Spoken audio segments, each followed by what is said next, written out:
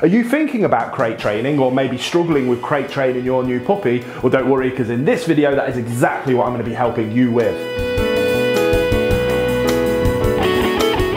Welcome back to Fenrir Canine Training. And in this show, we're going to be answering more of your submitted questions to help you become high level canine leaders that can have your very own perfect canine companion. But without further ado, let's check out today's question.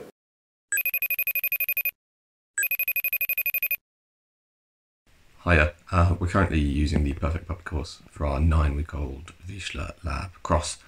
Um, she seems to have a pretty good relationship with her crate. She'll take herself off in there for naps uh, during the day, especially if we're in the room, uh, or she'll just go in there to chew on a toy sometimes. Um, but if we're, if we're in a different room, for example, and she falls asleep on the floor or on one of us, um, should we allow that? I mean, it doesn't, it doesn't bother us um, but should we be making the effort to get her to go into her crate with the door open to nap during the day at all times, or is it or is it just uh, nighttime that we need to kind of enforce crate sleeping? Thanks. No problem whatsoever, and that is an incredible question that gives me a fascinating answer that I'm really excited to share with you. And I think I'm going to break it down into two sections. Very specifics about crate training, but then more importantly, uh, information about the relationship that you have with your dog. So then, first of all, the information about crate training. If you want your crate training to go quicker, smoother, and happen faster, then enforcing that absolutely every sleep happens in the crate, and wherever they fall asleep, you move them to the crate will make crate training go faster, be easier and smoother process. If you let your puppy sleep on the sofa, on you, on the rug, on the carpet or in different areas of the house, it may make crate training take a little bit longer and there may be a few bumps in the road in getting her to perfectly settle down in the crate when you do put her in the crate. Which then takes me on to the second part of the answer, which I actually think is a much more important answer that more people should think about. And that is that ultimately that decision is yours to make.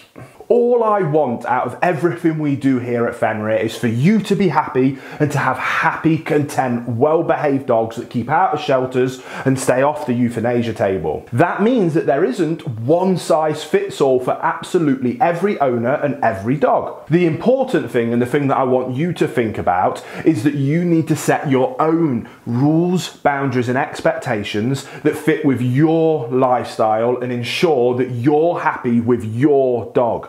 Then, when you and your family have set those rules, boundaries, and expectations, you need to enforce them with militant consistency so that your dog has a calm, consistent leader in its life. That consistency will help your dog be able to look up to you for guidance and direction and ensure that it doesn't develop any anxiety and fear through a lack of consistency and not knowing what the rules are at any given moment. So, therefore, if you want to have a cuddle on your sofa with your dog and it's lovely when they fall asleep on you and that makes you happy, then absolutely go for it. Just make sure that if that's a rule in your home, that everybody within that home sticks to that rule so it's consistent for your dog. So, what your perfect canine companion is might very well look different to what my personal canine companion is, providing they're happy, content, they're not fearful or anxious, and they look up to you for guidance and direction, that's all that I want to give every dog and every owner.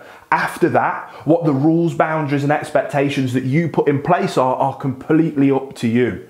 And it is up to you what makes you happy and therefore your dog happy. So have that chat with your family, decide whether you want to allow it or you don't want to allow it. Whatever decision you come to, enforce that consistently, and I am sure that you will have a wonderful Vizsla Cross Labrador that is more than happy to sleep in the crate when it's time to sleep in the crate. And if you want them to curl up on the sofa and have a snooze on you in the evening, that's absolutely fine as well. I hope that helped. If it did, please give the video a thumbs up. Don't forget to subscribe because I can't wait to see you on the next episode of Fenrir Canine Training.